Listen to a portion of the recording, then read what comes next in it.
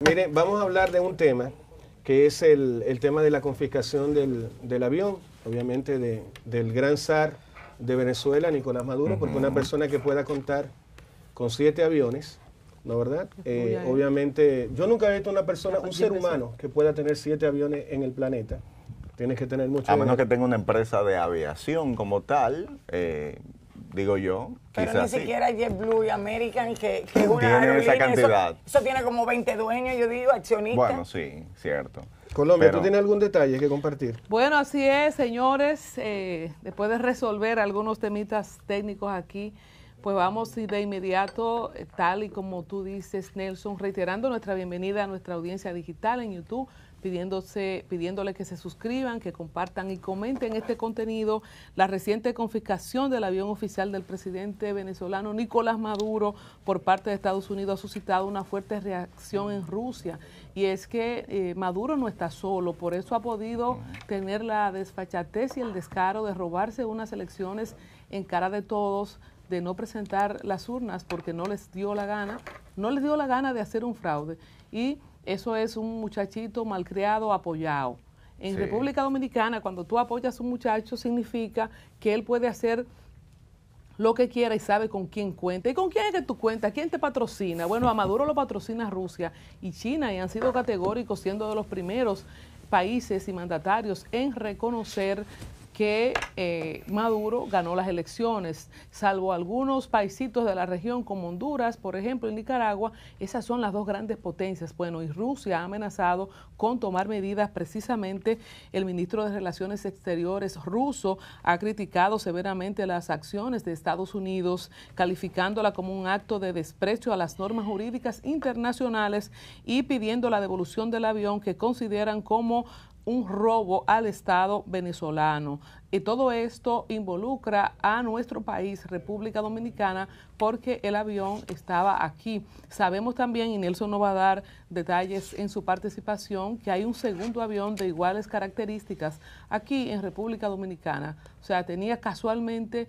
eh, Maduro o la empresa, porque según ha dicho el presidente de la República, no estaba a nombre de eh, el Estado venezolano, sino a nombre de un tercero. Rusia ha expresado su solidaridad con Venezuela, argumentando que las eh, sanciones impuestas por Washington muestran un total desprecio por la legalidad internacional. El avión, ya ustedes saben, que se trasladó a Florida desde aquí, desde República Dominicana, en el contexto de esas ah, sanciones que los Estados Unidos tiene pues por la vinculación de Maduro supuesta y alegadamente con empresas fantasmas y con situaciones eh, por lo que tiene precio su cabeza. Ustedes saben que tanto Maduro como Diosdado, Cabello y eh, Rodríguez tienen eh, precio en la DEA de 15 millones su cabeza cada uno. Así es que esta situación pues mantiene las tensiones. La gente que se acuerda de la Guerra Fría, de eh, este sistema de estos dos polos que durante los años 90 mantuvieron en tensión al mundo entero, este tipo, ¿ustedes se imaginan un estallido de una tercera guerra mundial y República Dominicana en el medio porque el avión fue de aquí que se lo llevaron? Bueno, Rusia está pronunciándose, eh, le han quitado un juguetito a uno de sus niños favoritos, que es Maduro, y dice Rusia que va a tomar medidas, Nicauli. Así es. Bueno, recordando un poquito de cuál fue el proceso explicado por nuestras autoridades el pasado lunes en la semanal, la confiscación del avión oficial de Nicolás Maduro, un Dassault Falcon 900EX, ha generado una serie de eventos y procedimientos legales que reflejan la complejidad de la situación. Según lo informado por el ministro Álvarez, el Ministerio Público de República Dominicana recibió una solicitud de cooperación internacional por parte del Departamento de Justicia de Estados Unidos el pasado 20 de mayo, es decir, al otro día de las elecciones dominicanas. ¿eh? Sí. Estaba caliente el escenario y había que manejarse con discreción. En esa solicitud, las autoridades estadounidenses pidieron la inmovilización del avión en cuestión, alegando su implicación en actividades criminales como fraude, contrabando de bienes ilícitos y lavado de activos. La respuesta dominicana a esta solicitud se produjo eh, inmediatamente dos días después, el 22 de mayo, cuando un tribunal nacional ordenó la inmovilización del avión que había ingresado al país para recibir mantenimiento Vino a recibir mantenimiento, pero cargado de una caja rara que ayer lo tratamos. Mm. Posteriormente, el 2 de septiembre, una nueva orden permitió al Ministerio Público autorizar el traslado del avión a Estados Unidos, donde las autoridades estadounidenses procedieron a su confiscación. El Departamento de Justicia de los Estados Unidos, eh, para que ustedes eh, le tengan el contexto claro, argumenta que el avión fue adquirido ilegalmente a través de una empresa fantasma y que se contrabandeó fuera de los Estados Unidos hacia el Caribe. Que por cierto, ayer algunos decían que vino para República Dominicana, no es así. Primero llegó a otras islas del Caribe. Así es. Eh, Así que, Nicolás- Lo, fuerte es que eh, eh, estas, eh, eh, la- el gobierno eh, venezolano tiene eh, sanciones impuestas por el gobierno de Trump y estas sanciones fueron violadas eh, cuando hicieron la adquisición de este avión. Entonces, estas acusaciones incluyen violaciones de sanciones, eh, como ya les decía, y leyes de control de exportaciones. Esas eh, sanciones las colocó Trump en su gobierno, al gobierno venezolano, al gobierno de Maduro. Entonces, este avión estaba registrado en San Marino, ha sido utilizado en múltiples ocasiones por Maduro para sus viajes oficiales, incluyendo visitas a Guyana, Cuba y San Vicente, y las Granadinas. Antes de su exportación, el avión estaba registrado en Estados Unidos y era propiedad de Six G, eh, eh, Aviación, una compañía con sede en Florida especializada en la compra y venta de aviones usados. Los registros de la Administración Federal de Aviación indican que el avión fue dado de baja en Estados Unidos en enero de 2023 tras ser exportado a San Vicente y las Granadinas. La confiscación del avión y los eventos que los rodean ha generado tensiones diplomáticas, eh, como decía ya Colombia, especialmente con las, eh, la solidaridad eh, manifestada por Rusia hacia Venezuela y las críticas a las acciones de Estados Unidos en el contexto de la política internacional y las sanciones, eh, lo que indica que está bien convulso ahora mismo el panorama eh, político internacional debido, ¿verdad?, a que, como ya eh, bien explicó Colombia, esa parte, Rusia no quedó contento, no quedó contenta con esta acción del gobierno dominicano, en verdad, con el gobierno de Estados Unidos, obviamente, que fue quien tomó eh, la iniciativa de hacer la confiscación de este avión. Y obviamente el gobierno dominicano no va a poner eh, eh, objeción a eso. Nelson, entonces No hay debe. otro avión aquí. Fíjate- De los 40 que el presidente se le zafó en la semanal y dijo que no sabían de quién eran, hay otro, así mismo aquí, Estábamos que está aquí Yo- todavía. Ujú. Estábamos preguntando. Que si los 38 aviones restantes, al, al número 40 que dio el presidente, serán de Maduro también. ¿o? No, pero hay una cosita que ustedes parece que no están visualizando. Yo les voy a contar una- un tema que está pasando al interior de la campaña electoral en los Estados Unidos. Y es que el candidato por el Partido Republicano, Donald Trump, se expresó respecto a las También, políticas sí. eh, o las sanciones que ha aplicado el gobierno de Joe Biden a la situación en Venezuela, criticando lo siguiente. Dice, por un lado le confiscas un avión, ¿no ¿verdad? Pero por otro lado le da licencia para que empresas como Chevron y otras operen en Venezuela. Y también tiene, dice, eso para él es absolutamente nada. 13 millones de dólares cuando tú todos los días estás comprando un petróleo Que no- que no se necesita que en su- Estados según Unidos. comenta Donald Trump, no lo necesita. En la línea de lo que acaba de comentar eh, Colombia, que al parecer hay un segundo avión que está siendo vigilado en el hangar del aeropuerto Ligüero 24 horas, se presume que es de similares características que el avión que fue confiscado. Ese sería casi una réplica exacta del avión que ya se fue a la Florida. Y ahí vienen varias preguntas que sí hay que hacerlas. Una es, fíjense que Anthony Blinken va a ser un tema, va a viajar a Haití para un asunto que corresponde eh, con la delegación presidencial de allá, de ese país, y luego viene a una reunión privada con el presidente Luis Abinader. Yo por lo poquito que sé del tema de política exterior, hay, hay cosas que no me cuadran. Por ejemplo, eh, Abinader viaja a una charla invitado por un banco a Estados Unidos para tratar un tema económico, regresa y ya el viernes tiene, allá tiene reuniones con autoridades norteamericanas y aquí el viernes tiene reuniones de nuevo con autoridades norteamericanas. Hay cosas que cuando están a la vista no necesitan preguntas adicionales. Trump dice, y para que ustedes vean una similitud en, lo que voy a comentar, Donald Trump se queja de que la política exterior de, sanciones hacia lo que es el régimen de Venezuela no ha dado resultados y aquí mismo, en una nueva mañana, yo lo comentaba en ese momento a Iván Yael, que yo no entendía por qué le daban como una, una cierta licencia al gobierno de Nicolás Maduro para que explotara petróleo, es para que él cumpla con el acuerdo de Barbados. Ahí vamos. No cumplió con el acuerdo de Barbados. Hizo una elección y como dice Colombia, se la robó. Y el, y el gobierno norteamericano sigue comprándole petróleo a Venezuela. Entonces, muy lindo lo que acaba de comentar mi gente, de que realmente 13 millones de dólares para un país que recibe miles de millones de dólares del mismo que le aplica sanciones, es un poco inverosímil, un poco incoherente. Y por eso también uno entendiera, como decía eh, Colombia, de que ese círculo que rodea a Nicolás Maduro, por eso se sigue nutriendo, tú ves que están todos gorditos en la foto, en los videos, porque ellos no tienen problemas económicos.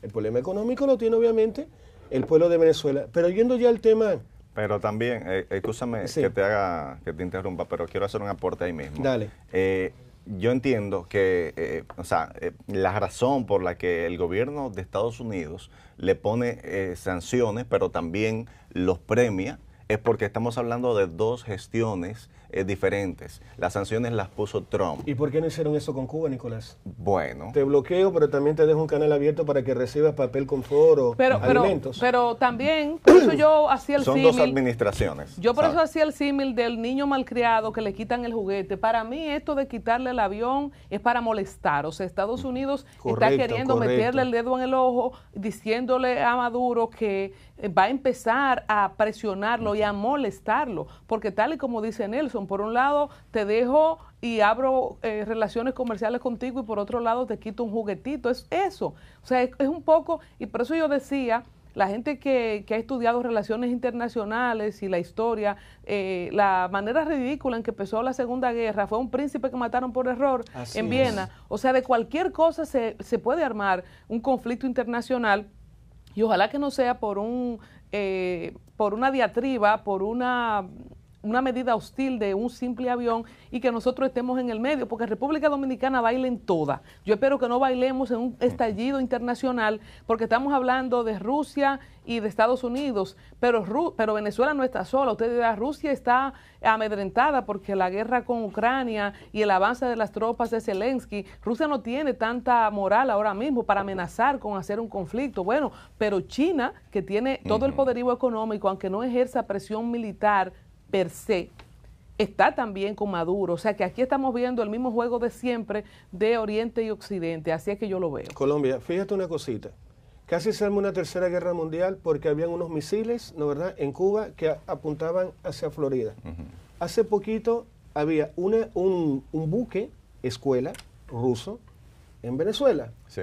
Más, más, signo más, un submarino, ¿no verdad?, también atracado en los puertos de Venezuela. En la misma línea que comenta Colombia es que Rusia sí ha dicho, hey, yo estoy acá, cuidado con el muchacho, no nada, con, mi hijo malcriado, porque nosotros estamos acá, tal, y aparte China que tiene Estados Unidos ahora mismo, que ya no saben qué hacer. Imagínense ustedes que Donald Trump dijo, quiero meterle un arancel, un impuesto, del 60% a todo lo que viene de China. ¿Por qué? Porque la industria americana está casi en la quiebra. Así, esa es la realidad. ¿Qué, ha pasado, mis hijos? Esta copa, por ejemplo, que yo tengo acá, de agua. Si es Made in USA, vale un dólar. Si es Made in China, son 10 centavos. Entonces, llega un momento que cuando la persona va al retail, a la tienda, ¿no verdad?, a comprar, dice un dólar, 10 centavos. Bueno, quiero mucho al tío Sam, pero yo prefiero esto porque yo no tengo cuartos para comprarme una copa de un dólar. Y eso es lo que pasa en autos, eso es lo que pasa en material de construcción, eso es lo que pasa en un machete, en un clavo. Yo se lo comento porque ayer, por ejemplo, quería cerrar una venta con un cliente, le mandó el precio y me dice, lo siento hermano, pero de Turquía me vale 800 dólares menos la tonelada. Yo tuve que quedarme así. Y eso que si yo te digo, Nelson, el precio que me da China. Y yo he, he ido perdiendo ventas. ¿Por qué? Porque China tiene los precios bajísimos. En este programa, cuando hablábamos del tema del litio, Nicauli, todavía tú no habías llegado, decíamos que, por ejemplo, Bolivia tiene la reserva más grande de litio, pero lamentablemente, y lo conversamos con Iván, 36% del litio lo tiene China. ¿Y China qué fue lo que hizo? China dijo, ¿saben cuánto vale eh, la tonelada de litio? Y el resto del mundo dijo, no sé, porque nosotros, 14 mil dólares. Antes de que China se expresara sobre el precio del litio, valía 84 mil dólares. ¿Cuál es el problema? Lo hablamos acá también en una nueva mañana. Yo sé que la gente que es demócrata dirá, pero Nelson, entiende que Kamala Harris, ¿saben qué es lo que pasa, mis amores? Nosotros vemos a un Nicolás Maduro protegido, blindado por el tema chino. No va a pasar nada, Maduro. Yo siento, escúchenme bien, y voy a romperle la esperanza incluso a María Corina Machado. Y la propia tuya que tú tenías. También. Yo siento que no va a pasar absolutamente nada y él se va a quedar ahí hasta que a él le dé su gana porque no va a intervenir militarmente Estados Unidos. No va a intervenir militarmente ninguna ningún país de la región de América Latina. Por lo tanto, queda este hombre ahí pero, está la, posibilidad de que le incrementen, sí, entonces las, sanciones. Nelson, yo siento lo contrario, yo siento lo contrario y, vamos a ver porque el mundo está atento. Yo siento, eh, ahí difiriendo un poco de lo que ustedes dicen, que le están quitando un juguetito a Maduro, pero eso es más profundo de lo que ustedes ven. Realmente le están quitando la posibilidad a Maduro de que se sienta tan fortalecido como su propio séquito le hace sentir. O sea, cuando ya yo soy capaz con un país de quitarte posiblemente la nave que te tenía a ti garantizado tu escape secreto, tu fórmula secreta, eso quiere decir, y vamos por los pies tuyos, para no decir la cabeza, ¿verdad? Porque eso pudiera malinterpretarse. Yo siento lo contrario. Yo, sé Yo siento que Biden, Biden, y siempre me, paro ahí, coincidí ver a Jaime Bailey el otro día, que Colombia lo mencionó ayer. tener una mirada parecida. O sea, Biden va a resolver el tema de Venezuela antes de sus elecciones. Bueno, eh, él, le dio plazo. Porque él necesita ganar. Tú un velón especial. mira, mira, apoyando eso que dice Nicauli. No, le, queda mucho tiempo a Maduro, ya sea que Dios lo mande a buscar o que vaya a O que se lo mandemos. O que se lo mandemos, porque Dios acepta delivery también. O sea, él no siempre viene a buscar gente. Ah. bueno, eh, eh, la cosa está tan avanzada que Dios no da para tanto. Y delivery. Mira, Dios sabe lo que hace, porque si me hace venezolana, no estuviéramos hablando aquí. Pero nada. Vamos a dejarlo ahí. Estados Unidos condena la injustificada orden de arresto contra el opositor Edmundo González. Eh, Nicauli, esta titular, te lo, lo leo, apoyando lo que tú dices. ¿Qué hace, qué gana Edmundo? Yo estoy muy preocupada por este señor. Yo estoy muy preocupada el día de hoy por María Corina Machado, porque es muy fácil para nosotros, desde República Dominicana, aquí en la 27 con Lincoln, en el Distrito Nacional, donde está el Tanto TV, ponernos a hablar de Venezuela y yo que Dios me perdone que en los diez mandamientos está que uno no puede desearle el mal a la gente y yo deseando que se lleven a Maduro para el más allá, pero bueno, esa es mi condición humana, no puedo negarla.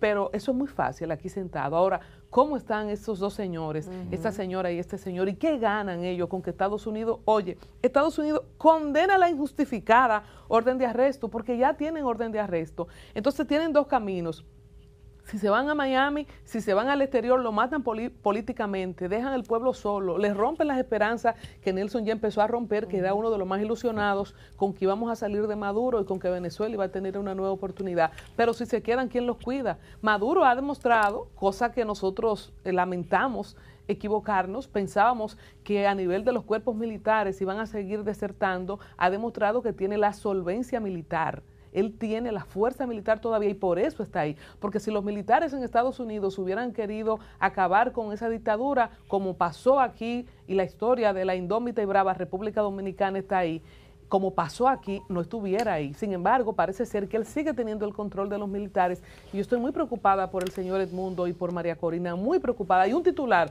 de Estados Unidos diciendo que condena. ¿Y qué, ¿Y qué ganamos con que Estados Unidos condene? Y cuando Estados Unidos ha querido resolver algo, lo resuelve.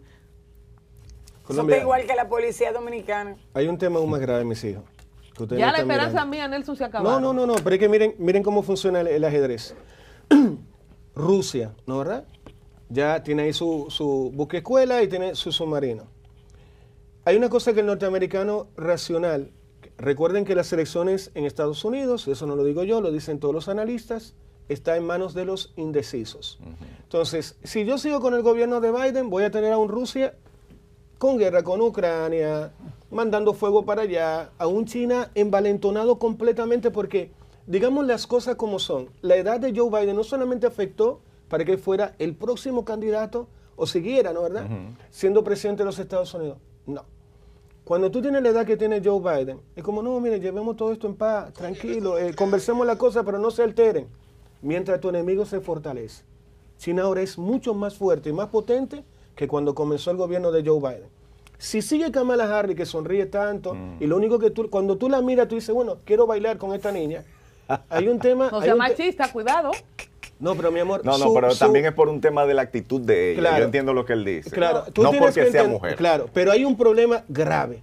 Y lo dijo Iván Yala el día pasado. Es un país que tiene enfre- la siguiente situación. Una persona de mi edad, y se lo digo a manera personal, gente de mi, mi propia edad, cuando yo trabajaba en una empresa de delivery aquí en Dominicana, le pregunto a la persona, "Oye, ¿por qué no hay más personas de mi edad? Dice, porque nadie sabe temas de software. Digo yo, por eso sí, nosotros hemos entrevistado gente de la misma edad tuya y no le podemos dar trabajo porque a la hora que lo metes, mira, métete en Tableau, métete en tal software, no hay forma, no, no puede avanzar. Cuando eso tú lo llevas a Estados Unidos, hay millones de personas con esta edad, ya mayor de 50 años, mayor de 45, que son análogos. Esa gente llega un momento cuando la fábrica cierra, porque China se comió, mi padre quebró, porque todo lo que él hacía en el taller, empezaron a llegar las mismas piezas que él hacía en un día, allá la hacían en segundos. ¡Pran! Quebró. Y en Estados Unidos hay ciudades completas que vivían todos, Nicolás y yo, y Nicao, y Colombia, que nacimos en la ciudad de Ohio, vivíamos de una fábrica X que estaba ahí. Esa fábrica está cerrada, quebró, ¿no verdad? Porque una nueva tecnología, un nuevo know-how, innovación, etcétera, tal. Entonces, no solamente te enfrentas con un China y un Rusia fuerte y envalentonados y tal, con tu propio cliente interno, y eso sí me lo va a entender Colombia, que es el ciudadano norteamericano, porque el ciudadano de a pie dice, mira, a mí me importa una madre Rusia, me importa una madre China, yo necesito comer, tengo un hijo enfermo, etcétera. Esa persona en particular, no tengo tan seguro ni tan claro que quiera que continúe el gobierno demócrata. Porque Donald Trump pueden criticarlo todo lo que quieran, inventar todo lo que sea. Pero mis amores, vayan a los libros. 2,6 fue la media de desempleo en los Estados Que Unidos. lean las en términos económicos se llama pleno empleo. En castellano, recuerden que millones de personas durante el gobierno de Donald Trump, exactamente 4,7, renunciaron a sus puestos de trabajo. Así, mira, Cuéntame, Nelson, ¿vas a venir mañana? No, mi amor, yo no vuelvo más para acá. Y esas personas desaparecieron, ya no están en el mercado laboral. ¿Por qué? Emprendieron, eh, cambiaron, se volvieron otro tipo de personas, cambiaron de rubro, etcétera, etcétera, etcétera. Entonces, estas elecciones no son tan fácil. Eh, Venezuela por eso no es prioridad como urgente, porque ellos tienen problemas internos, tienen una juventud zombie metida en temas de drogadicción. Sí. Luego hay un tema de obesidad, tanto infantil como adulta, que también está enfrentando, un tema de sanidad, de salud pública, como comentaba Nicole en días pasados. Entonces, no es el Estados Unidos, incluso ni de Barack Obama, lo dijimos en, en días pasados, ni de Bill Clinton. No. Es otra sociedad completamente distinta, con problemas completamente distintos, que tampoco quieren una guerra los norteamericanos. Mira. Señores, ojo con eso. Quiero apuntar ahí rápido, muchas cosas que decir sobre todos los temas que tan sabiamente tocas, pero voy a apuntar lo siguiente. Eh, si algo bueno eh, se le puede destacar a Donald Trump es que pasó su cuatrenio sin armar una guerra ni apoyar vagabundería de estados abusivos. Donald Trump llegó inclusive eh, fortaleciendo la política exterior de Estados Unidos y evitando guerra para que esos hijos de norteamericanos y de latinos que ya están enlistados en las fuerzas eh, de policiales, el Navy, todo de Estados Unidos, no perdieran a sus hijos. Él fue hasta a North Korea, Así a es. Corea del Norte, Sí, sí. hablar con Kim eh, exacto, con Kim Jong-un, pero con el hombre más temido de, esa, Sí. de, de- de Asia, diría yo. Entonces, Trump tiene muchas cosas positivas que los demócratas no pueden exhibir. Si tú hablas con los verdaderos americanos y tú te vas allá a los pueblitos de Texas y tú te vas allá a los lugares recónditos que son los nativos americanos, ellos le van a decir que están locos que no ven para que vuelva Trump. Porque los bolsillos, porque a, a los americanos no hay que darle mucho dinero, ellos saben trabajar. Ahora, lo que ellos no perdonan es que tú no hayas controlado una inflación que lo ha puesto por primera vez a comer mal y a pensar que comer cuando salen de su casa. Lo que ellos no perdonan es que con eh, eh, sus gastos ya muy programados al mes, ellos no alcancen para la vida que tenían cuando Trump estaba. Entonces, la decisión en esas urnas no es como aquí, guay, qué bonito está en el cartel Kamala. Yo soy pro mujer, aunque no voy con la línea de política de Kamala porque yo no apoyo el aborto ni nada de eso. Ustedes conocen mucho de lo que he hablado antes. Me encantaría que las mujeres ocupen espacios, pero lo que exhibe y, vende Kamala no va con mi manera de ver la vida. Da ¿Eh? miedo. Ahí otra vez podríamos poner el videíto. Tengo miedo. Tengo miedo. Una gente como Kamala dirigiendo Estados Unidos. Mira que soy pro mujer, como dices tú, pero tengo miedo. Ella es demasiado, y lo dijo en su discurso ella con es demasiado la Progresista, o sea, hay cosas que yo pensaría y no la diría jamás, pero ella lo dijo. ella lo dijo y lo celebró. Dos cosas. O sea, no fue que lo dijo, se le salió. Fue que ella, eso fue, es una de sus políticas. Eh, lo de la agenda LGBT, lo del tema del aborto. Bueno, toda la depravación que por primera vez en la historia hemos visto a Estados Unidos, un país que los dominicanos aspirábamos a eso, ahora la gente le tiene miedo. Yo prefiero dejar mis hijos aquí, mis sobrinos, mi gente aquí. Mira, Nicauli, tú sabes que hablando de eso, ya tenemos que irnos, pero quiero rescatar esa línea. ¿Cuánta gente, y voy a buscar un video, cuánta gente que tengo en Estados Unidos que quiere ahora el sueño dominicano. O sea, cuánta gente ya no quiere estar más en Estados Unidos, no quieren, quieren venir para acá y trabajar desde aquí a propósito de la economía electrónica. Eh, digital porque ya no quieren más estar en Estados Unidos. Antes de irnos, señor director, para cerrar este bloque, vamos a ver la caricatura de Cristian Caricatura, porque en el otro bloque ya no vamos a hablar de Venezuela, ¿verdad? Señores magistral, a Cristian hay que hacerle un reconocimiento. Lo que decía yo de la orden de captura de González Urrutia, la mejor forma de graficarlo, Maduro es un sheriff del tiempo del oeste, con su sombrero y sus botas con una vela en una mesa, con un se busca a González Urrutia. Y por eso insisto, muy preocupada, señores, pero esa cara que tiene ese señor, esa cara de bondad, yo me imagino que los mismos policías y militares a quien les tocara, si encuentran a ese hombre se van a hacer los locos porque bueno, pasó con Leopoldo López, pasó con Capriles, pasó con otros opositores, pero un señor de setenta y pico de años con esa cara de bondad y en la forma en que él fue elegido para representar a la oposición, de verdad que sería muy eh, muy lastimante para toda la comunidad internacional y los venezolanos ver que a este señor le pase algo. Es lo que Cristian Caricaturas ha esposado el día de hoy. Si no la tenemos, vamos a ir a la pausa y bueno, eh, búsquenla ahí en las redes de Cristian Caricaturas y en las redes del periódico El Día. Gracias.